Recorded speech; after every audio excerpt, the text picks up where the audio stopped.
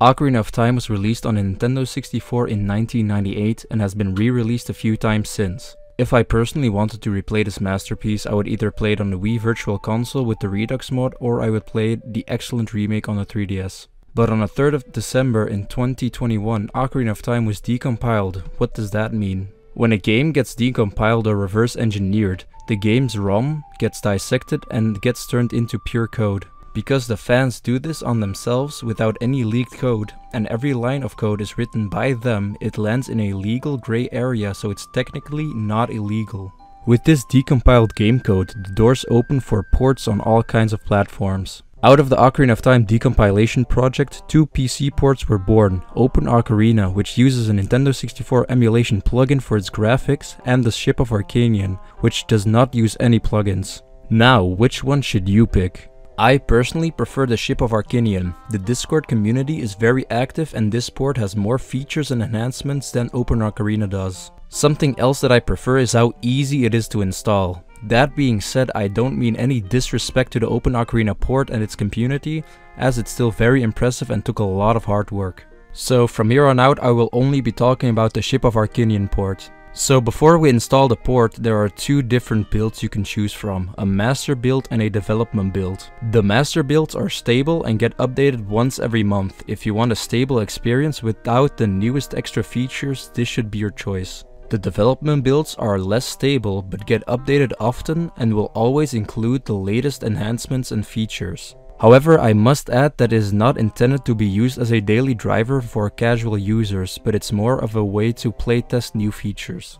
So now, how do you install the port? The master builds can be downloaded from the official Ship of Harkinian Discord server. On their GitHub you can find their Discord invite link and the stable builds can be found under the downloads topic. Here you can also choose to download the PC port for either Windows, Linux and Mac OS. Another reason to go to their Discord is to keep updated on announcements and previews. To get the latest development build, you will find a link in the description to the website builds.shipofharkinian.com. From here, we go to develop-rachel and download the latest build for your operating system. Now we just need one more thing, a compatible ROM file. Inside the SOH zip file we just downloaded, you will find a readme file. Here you can find all the information you need to get the port up and running. There are two compatible ROM versions.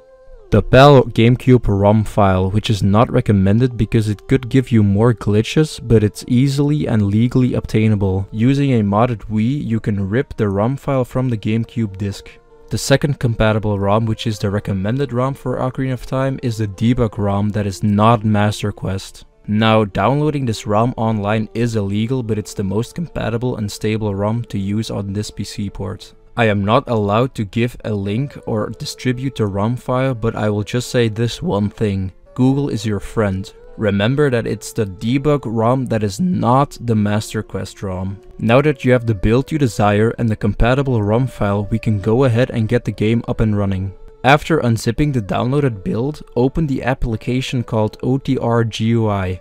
Here you have to choose the ROM file and let the OOT.OTR file be compiled. When it's done loading, you can open the SOH.exe and start playing.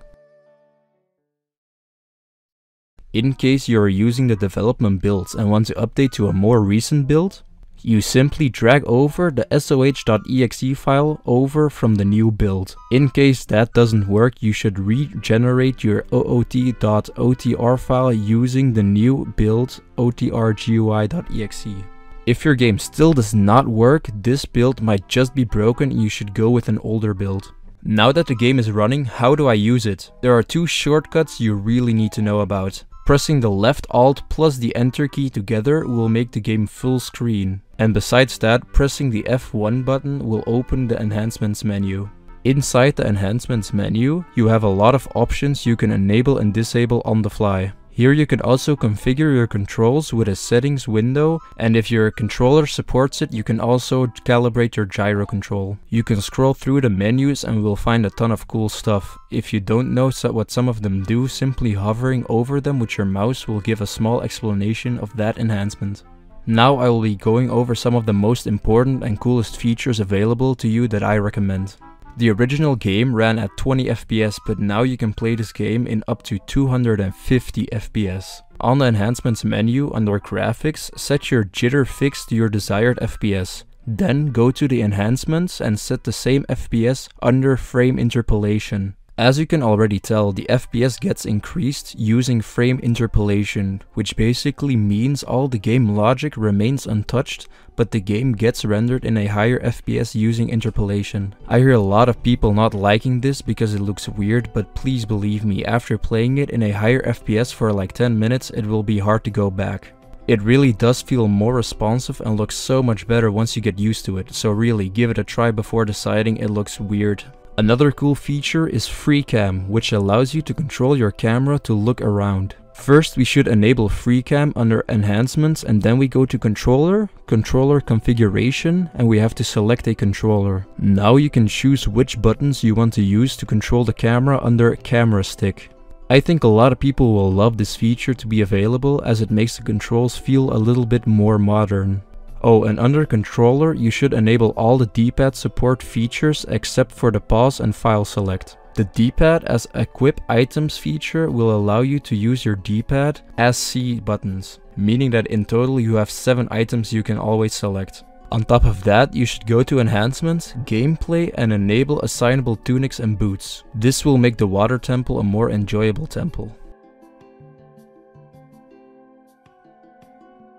Staying here in gameplay, we can go to time savers and enable everything if you've played this game before and don't need any tutorial information. If it's your first time playing, I don't recommend enabling no force navi, fast chest, fast drops and fast ocarina playback as you might miss useful information if you enable these. Under enhancements and fixes enable everything except the first two and in restoration you should enable a red Ganon blood. If you're already a master at Ocarina of Time and you think the game is too easy, then you can go into difficulty and make the game much harder. One more thing under enhancements that I recommend is enabling disable LOD, disable draw distance and Kokiri draw distance. These settings will make things that are in a distance look better for you. Lastly, you can use the randomizer feature to make a randomizer safe. You have a ton of settings on how you want the randomizer to be and there's also a built-in item tracker. This is good fun for someone who is bored of the story and wants a challenge.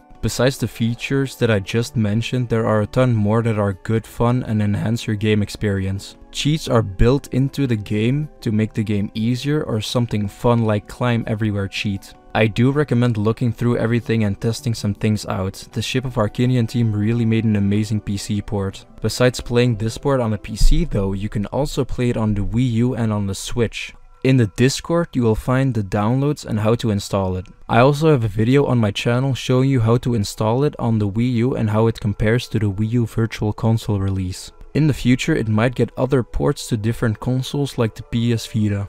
And that brings my video to an end. I would like to thank everyone who was involved in the PC ports and is doing the Zelda community a huge service. This is my favorite game of all time and I really am enjoying the PC port. I hope you enjoyed the video and I hope you will give the PC port a shot. Thank you all for viewing and subscribing to me, I really appreciate all the love I've been getting. See you next time.